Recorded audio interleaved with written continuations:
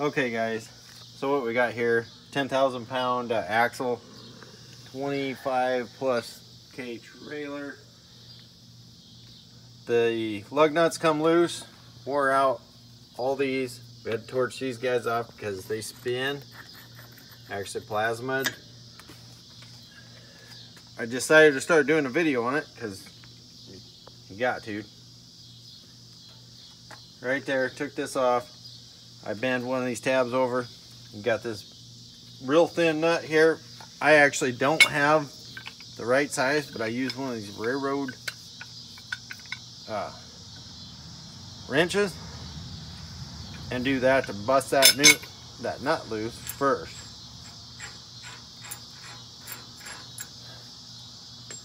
Get that locking tab off there. Like I said, this one I bent over, just one on each one. And typically by the time this is, that nut's gonna be pretty loose. Pull that guy out of there. And we're gonna replace the rear seal on this along with all the studs on this specific one. Okay. Actually does take a puller on this, but this one seems like she's coming off, so I'm not gonna drag the puller out couple times I've had to just put a puller and put a slight pressure on this guy. But looks like this time we're good.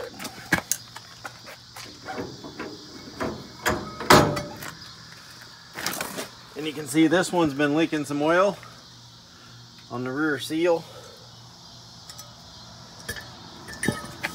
Right there.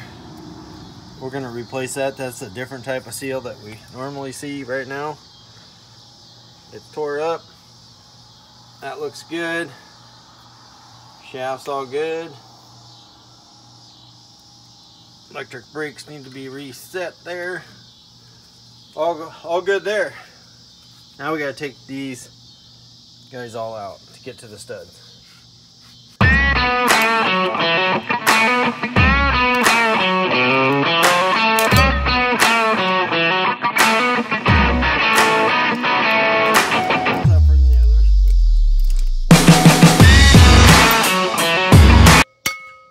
Okay, so we got the broken stud here. Got them little knurls on there. Hopefully, we'll see. Boy, it's gonna be tight. Actually might work. Some of them might not. That don't fit in there tight. You take that off, it's gonna roll. So if it doesn't, we're gonna have to TIG weld this or, or stick nickel it because this is cast. Just tack it just to save them 189 bucks.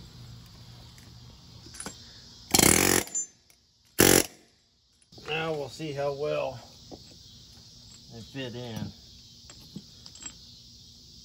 We got some that might be questionable.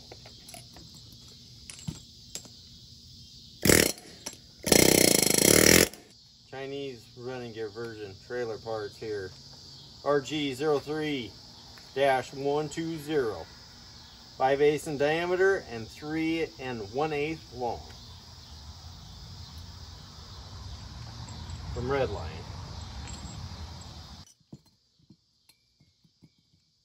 That one's not going to make the cut, sad to say.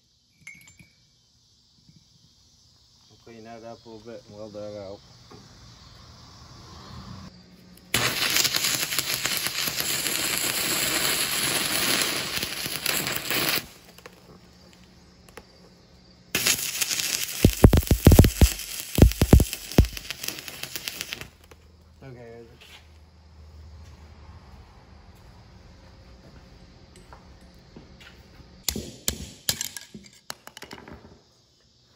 Okay, there's your seal.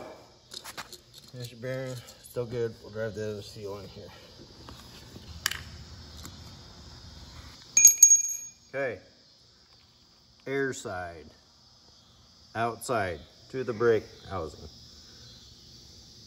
Oil side.